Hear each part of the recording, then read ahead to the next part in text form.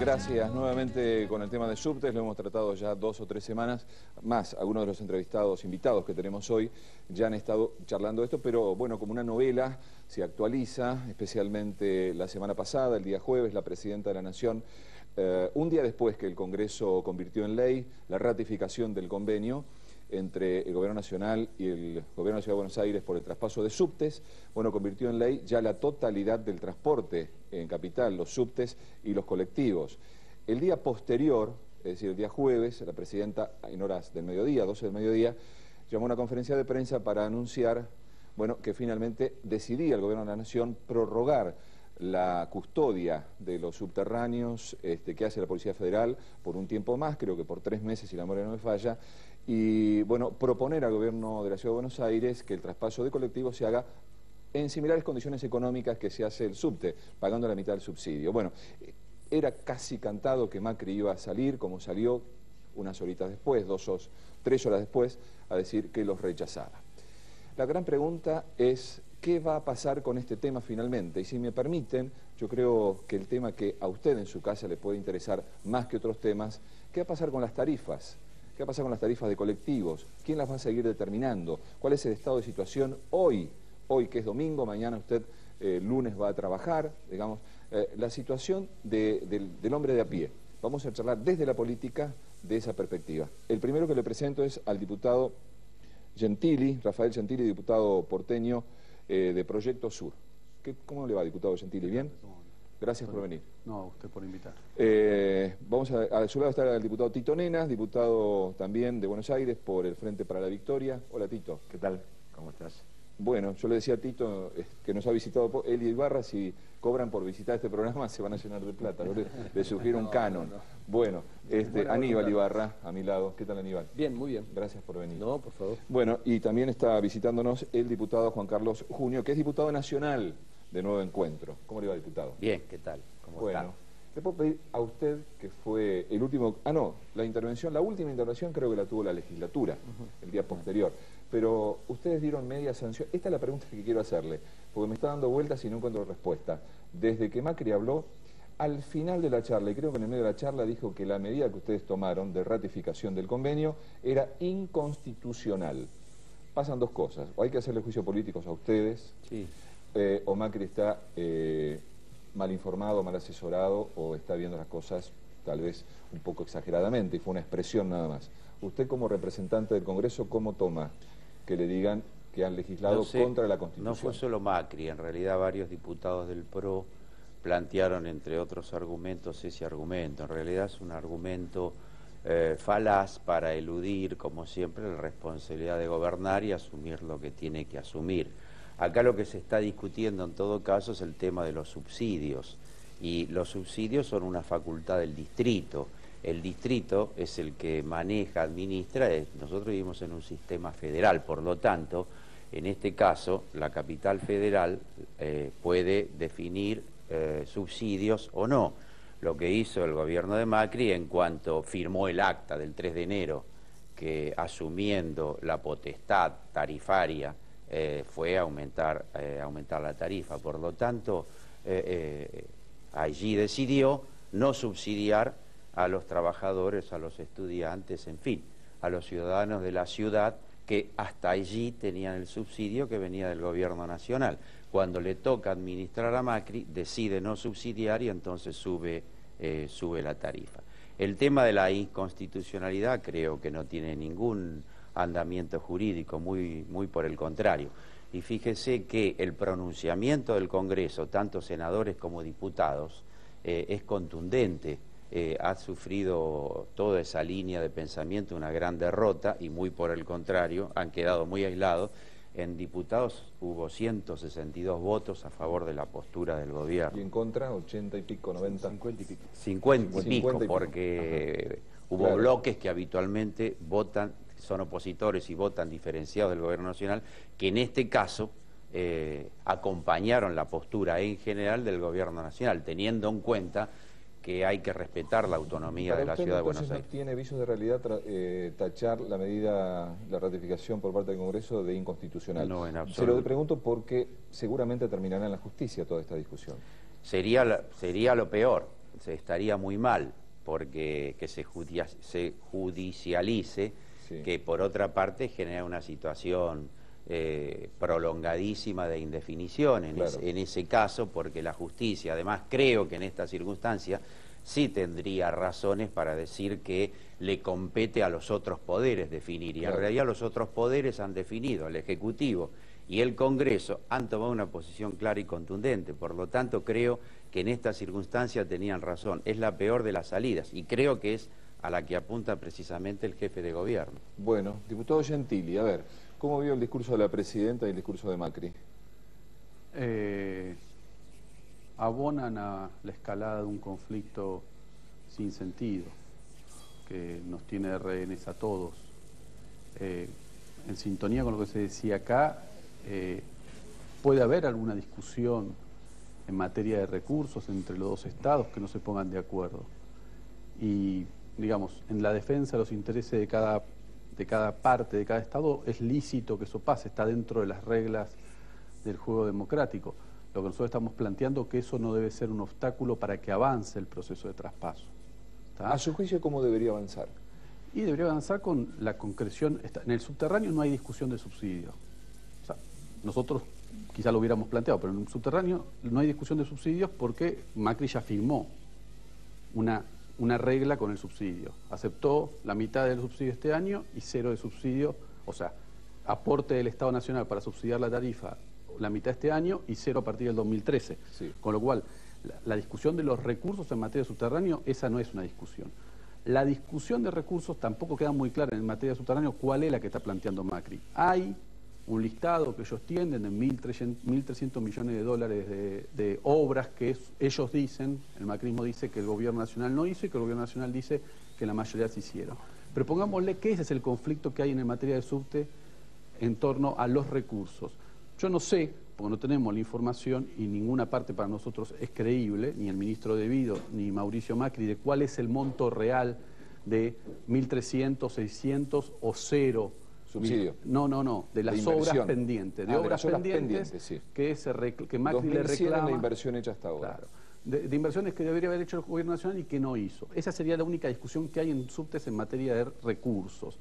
No hay otra discusión, con lo cual es una discusión muy pequeña como para usarla de excusa para no efectivizar el traspaso. El traspaso se tiene que efectivizar a la ciudad, tiene que ser explotado por Macri y nosotros tenemos que poder desde la legislatura revisar el contrato de concesión de Metrovías, porque si no revisamos el contrato de concesión de Metrovías, si no revisamos el esquema de concesión que tienen los subterráneos en la ciudad de Buenos Aires, es imposible mejorar el subterráneo, es imposible mejorar el servicio. ¿Por qué? Porque Metrovías se lleva un montón de plata que el subte produce y no Metrovías, perdón, el grupo Rollo, dueño de Metrovías, se lleva un montón de plata, fue el eje de nuestra intervención en la última sesión de la legislatura, se lleva un montón de plata, mucha plata, que si el subte fuera gestionado por el Estado sería volcado para mejorar el servicio. Eh, Macri dice, eh, lo volvió a ratificar eh, el día, este jueves cuando habló, dice que debería terminar de dirimirse esta cuestión en la legislatura de la Ciudad de Buenos Aires.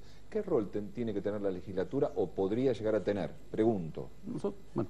No, eh, de ninguna manera. La legislatura de la Ciudad de Buenos Aires ya ha referido, digo, hay una ley del año 2000 en donde concretamente, yo se la voy a leer, Antonio, para que los sepan, dice es un decreto del, del, año 99 en donde dice todos los actos necesarios para la instrumentación de la transferencia del control de los servicios de transporte ferroviario de pasajeros subterráneo y premetro, comprendiendo tal transferencia en favor de la ciudad de Buenos Aires, el ejercicio de la fiscalización y control en lo que respecta a este modo de transporte de la ejecución del contrato.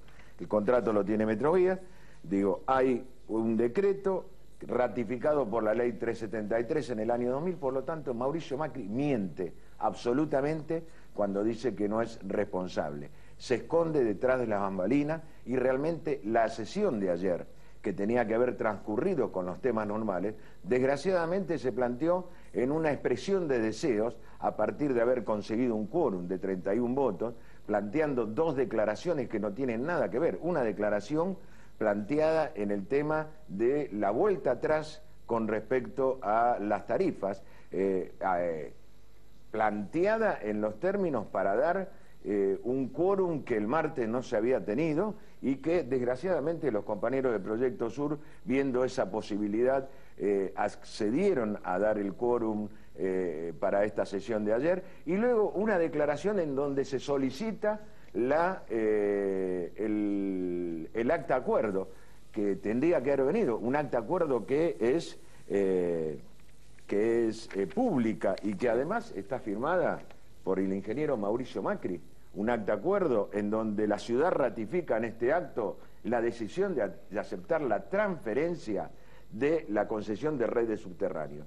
Y luego de este acta, digo, esto tenemos que tenerlo ahí, es planteado en estos términos, no hay eh, vuelta atrás. Digo, Mauricio Macri lo que hoy está escondiendo es la responsabilidad de hacerse cargo del subte de la ciudad de Buenos Aires. Yo ahí eh, coincido con Rafael, en donde dice acá no hay ninguna discusión, no hay discusión de fondos, porque los fondos eh, concretamente eh, no existen, digo, existen subsidios que son políticas de Estado que tiene el Estado Nacional respecto no solamente del subsidio al transporte, sino del subsidio a otras actividades, y si el gobierno de la ciudad, porque tiene una política de Estado totalmente diferente a la del Estado Nacional, define no subsidiar, porque el gobierno de la ciudad, con los 360 millones de pesos, o sea, el 50% de los subsidios que el gobierno nacional le va a dar durante todo este año, no tenía ninguna necesidad en 48 horas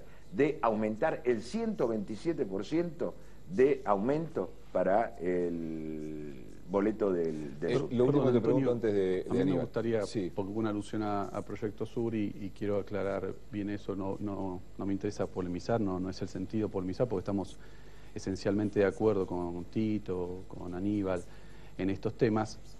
ayer se dio la casualidad que pudimos tratar dos proyectos que tienen en línea con lo que venimos reclamando todo lo que nos opusimos a lo que hizo Macri a partir de la firma del acta, que era uno el aumento de tarifa, entonces lo que resolvió la legislatura es exhortar a Macri que retrotraiga la tarifa a 1.10 y por, otro por otra parte eh, decir que manden el acta, que era lo que decíamos todos nosotros para poder hacer posible cualquier, cualquier alternativa de aumento o lo que sea, porque queremos que darle, hay que darle justamente certeza al proceso. Una discusión vana en torno a que si tiene o no que aprobar la legislatura, no que venga la legislatura, lo aprobamos a la legislatura el acta y ya se acabó y Macri no tiene ninguna excusa, porque lo que nosotros no queremos es darle ninguna escapatoria a que Macri retroceda a, lo, del 3 de, a lo del 3 de enero. Si no viene el acta, Macri tiene la excusa de retroceder. Entonces, bueno, podremos discutir, nosotros como tenemos la libertad de no pertenecer a ninguno de los dos gobiernos, nosotros ayer dijimos y logramos que se apruebe lo que venimos reclamando desde que nos enteramos por los diarios el 4 de enero que el gobierno de la ciudad y el gobierno nacional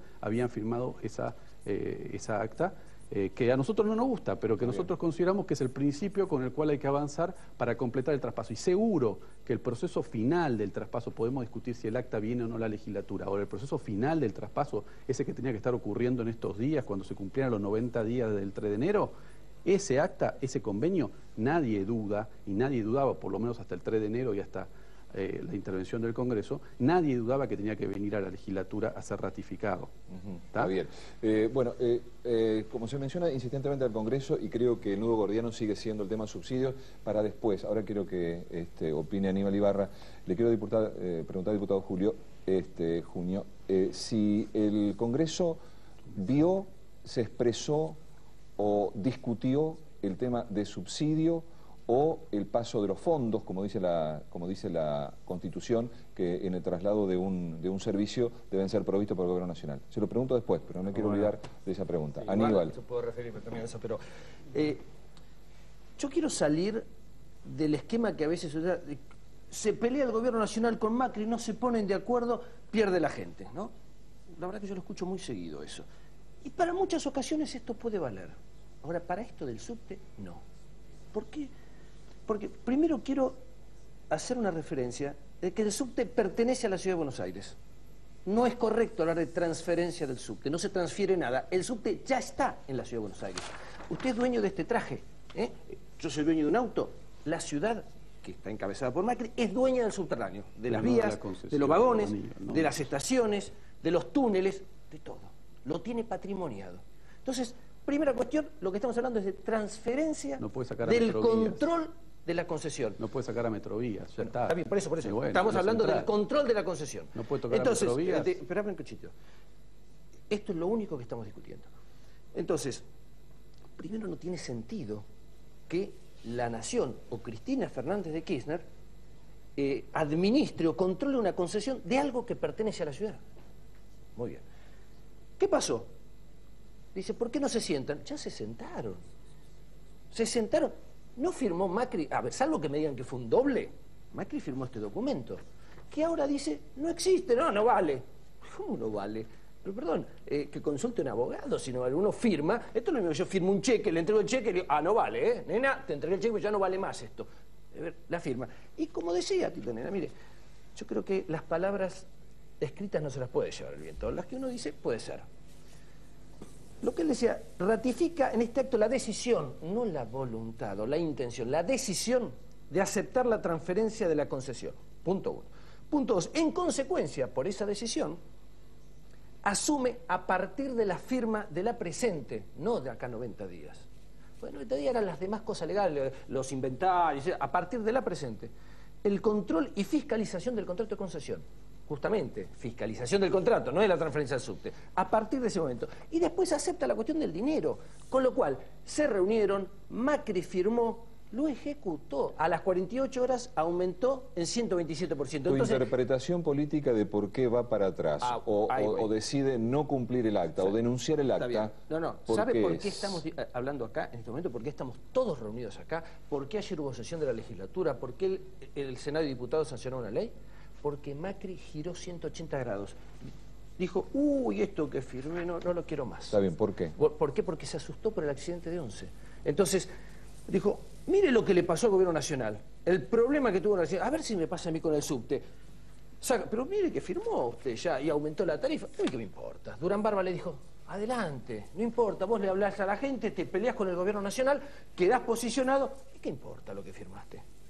Y este es el punto. Porque la verdad que yo coincido, sería penoso que la justicia tenga que decidir esto. Gentili, ¿usted coincide con que esa es la, o coincide con que esa es la explicación de por qué Macri rehúye ahora eh, este, cumplir el acta? Sin lugar a dudas. Pero la clave es, Macri puede sacar a Metrovías hoy, si quiere, puede sacar a Metrovías hoy en estas condiciones, con estos papeles Si él firmados. fuese... Él el- hoy, con los papeles el- que están firmados, con esa acta firmada, con la, la- la ley del Congreso, ¿puede Macri sacar a Metrovías hoy? No puede. ¿Pero Macri quiere sacarlo? No puede. Bueno, no, importa, pero esa es la No, no, pregunta. pero no, esa es la pregunta, porque central. él hace obvio es todo pregunta esto porque lo a la único, lo que falta y diciéndole, es eso. eh, esto que dice Lo que Aníbal falta es cierto. nada más que eso. Sí, la propiedad del subte, la propiedad del subte está claro, todas las instalaciones, todos son de la ciudad de Buenos Aires porque ese es un servicio que era de la ciudad de Buenos Aires y se federalizó. Ayer lo explicó muy bien el diputado Campos. Eso está clarísimo. Ahora, la concesión en el Estado Nacional. El concedente, el que le da las órdenes a Metrovías, el que puede dirigir a Metrovías, Traducime lo que estás tratando de decir. lo que, lo que estoy tratando de decir es que hay en la función de control de un servicio, una concesión de cualquier servicio público, hay una parte del Estado que ejerce la facultad de control y fiscalización, que es lo que habla el acta y la potestad tarifaria, los entes de control. Sí. Todos los entes de control que se quedaron las privatizadas. No son los que tienen Yo- yo el poder soberano, digamos, de decir te saco la concesión Tien- tien- o te la prorrogo o te la hago lo que sea. Tiene razón Eso lo tiene, perdóname, el Estado Nacional. No, no, perdóname. Eso lo tiene el Estado Nacional. Si hoy el gobierno de la ciudad quiere, quiere sacar a Metrovías de la concesión, no puede porque esa facultad concedente no le fue transferida del gobierno nacional al gobierno de la ciudad. Y ese acta es justamente lo que no le cede una partecita. Nosotros hemos enumerado, hemos, tenemos catalogadas, son 14 las funciones que tiene la autoridad de aplicación. En el contrato de concesión de Metrovías con el Gobierno Nacional hay 14 funciones que tiene la autoridad de, con- de- eh, de conce- eh, el poder concedente. De fiscali- Dentro de esas 14, estas son tres. A ver, trato, trato de seguirte. A ver, si eh, la semana que viene Ma- Mauricio Macri da marcha atrás y dice, bueno, acepto y quiero cumplir el acta. Lo que estás tratando de decir es entonces que no tiene facultades para eh, quitar de la concesión a Metrovías. No, tiene facultades para controlarla, tiene facultades para hacer todo lo que hoy hace pero la no para CNRT, sacarlo. pero no sacárselo, claramente. Perdón, bueno, está a bien. ver, bueno, di- disentimos, porque yo, Yo la verdad que en dicen- yo 30 años de, de ver la política, yo creo que la política puede hacer No, lo que es quiera. A no ver, es una- a ver, no, lo que no es quiera. es a un problema de es un problema, Eh, problema de, leyes. Estás ocupando el 70% hasta ahora de, digo, eh, el argumento de Gentili le viene bárbaro a Macri. Es decir, fenómeno, No, que no me falta un montón. Dejá- yo, no, yo no te interrumpí. en esa línea, yo no no te en esa interrumpí. línea, porque- Gentili, porque es ridículo, bueno, no, ver, yo no te interrumpí. Eh, A ver, Eh, no, pero termino con esto y vamos, quiero hablar una Es cuestión. funcional, ustedes fueron funcionando Gentili, los años, está, los años, pero no me vengas con eso, Aníbal, A ver, le sirve, porque acá... la discusión. Espera, Gentili. Eh, pero no. Dice el artículo... Acá. No digo que lo esté defendiendo, digo que el argumento le sirve. En consecuencia, la ciudad asume, a partir de la firma del presente, el control y fiscalización del contrato de concesión, así también, así como así también, el íntegro ejercicio de la potestad Tarifaria. de tarifa de servicio, incluyendo la facultad. Señores, tomen. Esto que además es suyo, es de la ciudad. Entonces, esto es lo que Macri no quiere. Ahora, Macri pone una excusa y dice, a partir de ahí, la policía. Yo escuché varios argumentos. La policía, las obras, eh, la seguridad, eh, un montón de cosas. Entonces, cuando uno dice las obras, y yo lo decía ayer, esto es como alguien que se queja de la impuntualidad. Uno dice, este es un tipo muy puntual. Bueno, Macri se queja de las obras y dice, Macri hizo todas las obras del subte. No, no. Eh, vació subterráneo en Buenos Aires, paralizó obras y cuando tuvo un crédito para hacer obras de subte, tuvo que guardar la plata y las gastó en otras cosas porque no tenía un solo proyecto para extender la red de subtes. Con lo cual, Macri es el principal responsable de que se hayan paralizado y frenado las obras de subte. Y por último dice el presupuesto. ¿Cuál es el presupuesto? El presupuesto para controlar una concesión que son 10 ingenieros, 25. Acá no es el presupuesto. Si esto fuera que le mandan con mil personas que cobran sueldo del Estado Nacional, estamos de acuerdo. Los empleados de Metrovías, los empleados son de Metrovías. Los de los colectivos son empleados privados. Entonces, no hay eh, eh, presupuesto o recursos que los que establece la Constitución. Lo que estamos discutiendo es tarifas o... No, se me este, fue el tiempo. Eh, eh, eh, necesito hacer esta pregunta. Tito, vos dijiste en un programa anterior, y creo que este, Aníbal lo acaba de inducir, este, la gente está preguntándose si Macri no quiere el subte porque no tiene plata para pagar el otro 50%, suponte, del subsidio de colectivo, suponte. Va a tener 500, le hace falta 1100. Bueno, eh, el gobierno de la ciudad tiene suficiente dinero para, digamos, hacerse cargo del subterráneo, mejorarlo y de los colectivos. Breve, porque estoy fuera de tiempo. Breve. 2010, 475 millones de dólares votados por un endeudamiento en el banco, Crédito. un crédito del- en- que está en el Banco de la Ciudad de Buenos Aires, específicamente con asignación específica para el tema subte. No están utilizados, se utilizaron para hacer otras obras. Este año, en 2011, hubo 415 millones de, de dólares, un endeudamiento también sin criterio para ver qué tiene. Macri tiene dinero, hay un presupuesto de 33 mil millones de pesos, pero además de esos 33 mil millones de pesos y del aumento de ABL que comenzó a partir del- de marzo del 2012, tiene el dinero en el Banco Ciudad y puede utilizar no solamente Bueno. para terminar las obras que prometió y nunca terminó, sino para llevar Ya adelante que no, no tenés subsidios. tiempo, permitime. Yo Sí, creo que si acá hay que poner un título literario, Sí. lo de los subterráneos es la historia del oprobio de los subterráneos de Macri.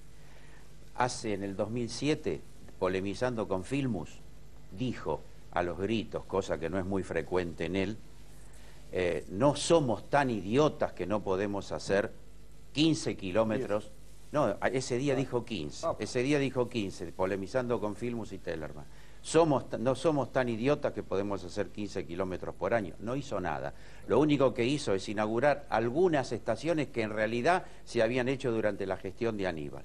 La otra cuestión que demuestra su falta de voluntad de gobernar es que le echa la culpa a todos los de atrás. Habla de 1.200 millones de dólares. Yo escuché en el Parlamento que Pinedo decía que se, lo- que se los prometió Kirchner y, y Gabriela Michetti decía, hay algunos papeles de eso.